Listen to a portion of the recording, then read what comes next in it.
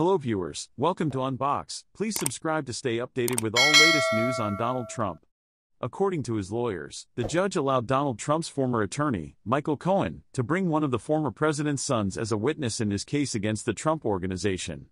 Cohen's team asked to use the testimony of Donald Trump Jr. in his case because he was an executive vice president of the Trump Organization.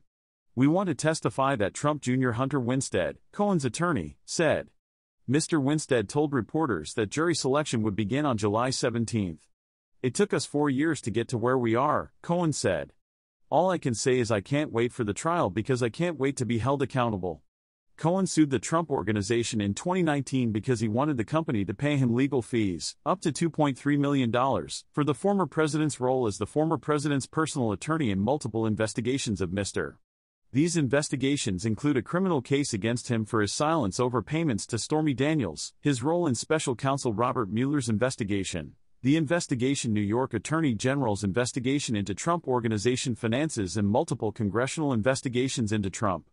In December 2022, the Trump Organization was found guilty of tax fraud. Trump received more bad news on Thursday. A federal judge ruled he could be removed from office in a lawsuit filed by former FBI agent Peter Strzok against the Justice Department. Although those currently displaced have recalled the events mentioned, their testimony does not support plaintiffs' hypothesis that the former president was involved in the pending decision in this case. The fact remains that the former president himself publicly bragged about his involvement, wrote Judge Amy Berman Jackson.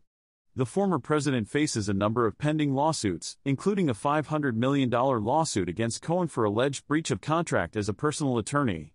Trump was also charged with federal charges over classified Mar a Lago documents last month, a New York State indictment of falsifying business records for Stormy Daniels, and county indictments. Fulton, Georgia nearly interfered in the election. He was found guilty of sexual assault in a case brought by former columnist L. E. Jean Carroll. The federal investigation is also investigating events leading up to the 2020 election, which appears to include Trump's efforts to stay in power. Trump may testify in ex FBI case, judge says M. N. Campbell, who is the deputy director of the FBI counter control and partially controlled the investigation of Russia's intervention in the 2016 election, filed a lawsuit against the unexpected pressure from President Trump and his political allies in the National Assembly and the media, including continuous tweets and other conflicting statements of the president, as well as direct reference documents from the total. The lawyer at that time was Jefferson and the director of the FBI FBI Christopher Wray to stop him. While the government said that Trump's public statements had nothing to do with this decision, Mr. Crossing tried to overthrow the former president as part of the discovery process.